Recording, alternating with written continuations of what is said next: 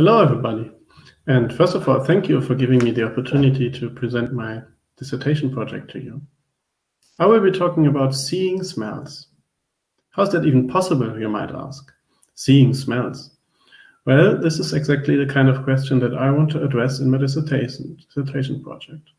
More precisely, I will try to find out how it is possible to automatically extract notions of smell from historical artworks.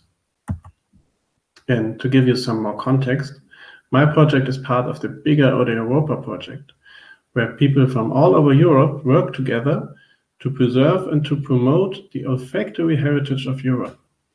So, what is olfactory heritage and why is it worth promoting? Well, the sense of smell is more than any other sense very closely connected to our emotions and to our memories. However, in the context of cultural heritage, be it tangible or un untangible, um, it does not really play a role. It's severely undervalued. And this is where Ode, Odeuropa project comes into play. The people from Odeuropa want to want to find out how Europe might have smelled in the past and what role the sense of smell had for in historic times. So how can they do that? It's not possible to smell what Europe might have smelled 100 years ago, but it's possible to collect references and, and traces. And one way is by reading what, what people wrote, wrote about smell in historical times. And that's actually actually what one team of the Europa project does. But what I do is I look for visual traces of past smells.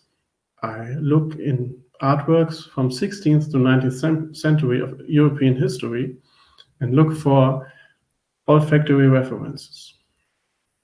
So the first thing we need to find out to find these references is how can smell be represented in a visual way? So we need to identify visual smell references. And one thing we came up with is just finding odor active objects. These are objects that either carry a strong smell or emit smells. So for example, you have food or you have flowers or you have animals like these insects. And these are often depicted in still lifes, but we can also detect these kind of objects in other genres. However, we still need to find out somehow whether they carry a, carry a smell reference or whether they are just depicted without referencing their smell. And another way of depicting smell is more indirect by using metaphors. So you need art historical background knowledge to identify these metaphors. And one thing we found is that dogs are often used as a metaphor for smell. So for example, in the left image, you see a personification of smell. The woman depicted is a personification of smell, and the dog usually comes next to her and is a metaphor for that the image talks about smell. However, if you look to the right, there you see a depiction of the Arnolfini wedding, and there's also a dog depicted, but this dog has another meaning. It does not signify smell, but it signifies loyalty. So this is something that we have to deal with. We cannot simply detect dogs and then say in every case it is a smell reference, but we have to consider the broader context.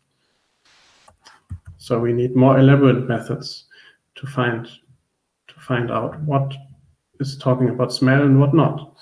And another way of representing smells is by by, by picturing smell-related activities. And these carry often carry even more meaning with them. So in this case, for example, you see a man who lost his consciousness, and there were two elderly people who tried to revive him using smelling salts. They bring a handkerchief that is probably filled with smelling salt to his nose to let him gain his consciousness again. However, if you look at it, there's not one single object that refers to smell. Instead, you have to look about at the narrative of the image and you have to find out what the image talks about to identify the smell reference. So this is harder to detect than just to find smell odor active objects, for example. And another way of representing smells visually that we found is by depicting iconographies.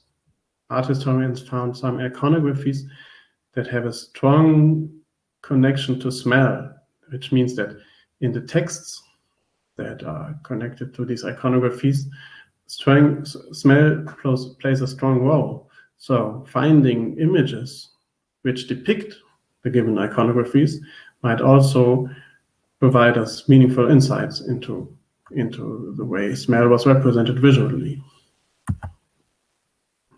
So let's talk about how we want to detect these smell references. The first and most important thing for us is the simple object detection.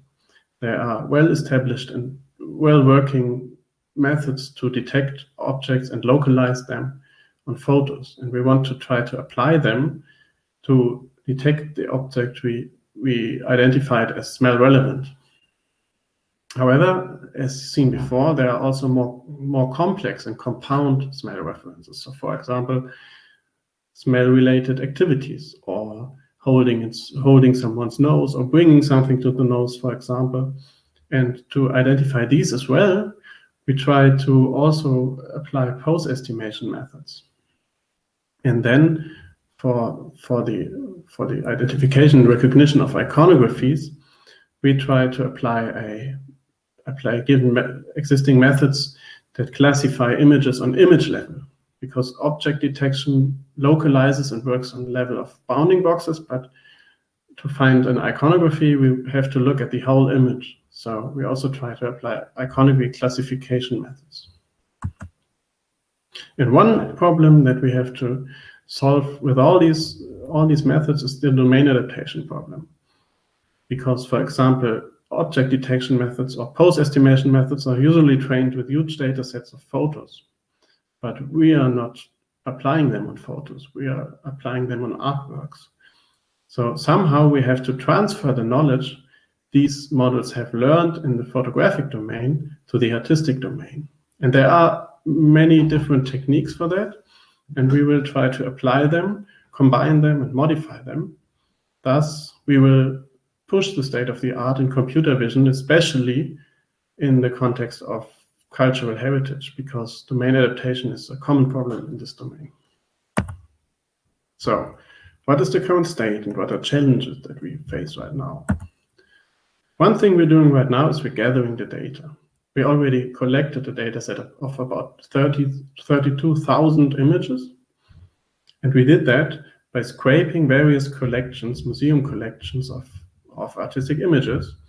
And we queried them by some predefined query terms. So for example, we looked for images that show up if you look for smell, if you search for smell images, or we also used genre-specific specific query terms like still life, or we looked for specific iconographies and then we got this data set. However, you might argue that there's something we miss. So the best would be to just have a complete extensive data set of all artworks that have been have been produced in the period that we're looking at. But this is impractical and probably it won't be possible to gather them all and also to work with them all.